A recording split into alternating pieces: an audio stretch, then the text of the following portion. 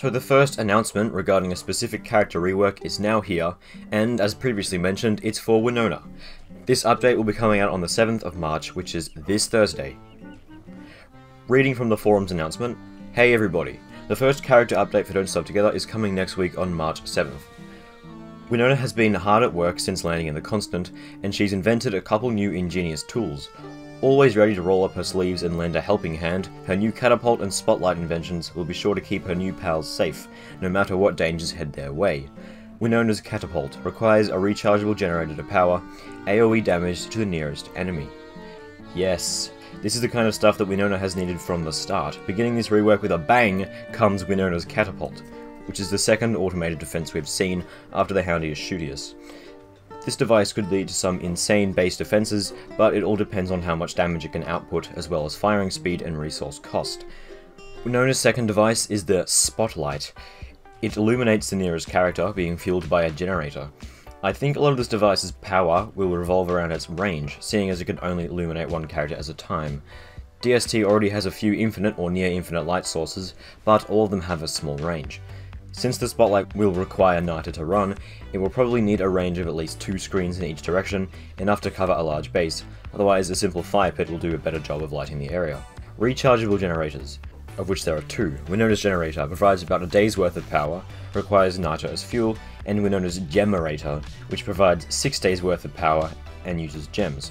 These two devices will power Winona's functional devices. It also gives another use for nitre, which was previously dead weight in one's inventory.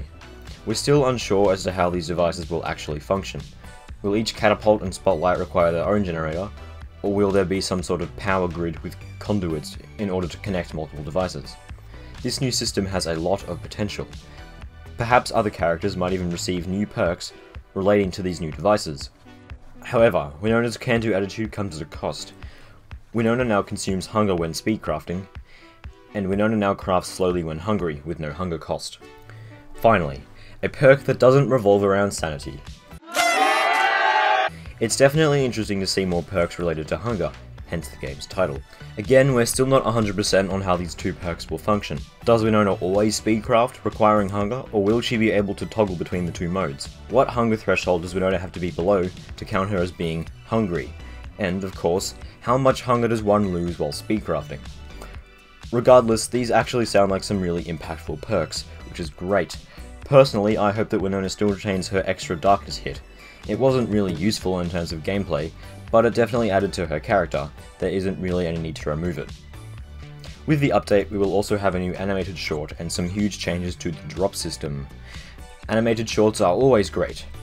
Hopefully we receive some more information about Winona's relationship with Wagstaff, considering that Winona's rework and Wagstaff's release in single player are strangely close together and hopefully the drop system getting reworked involves a buff to elegant drop rates.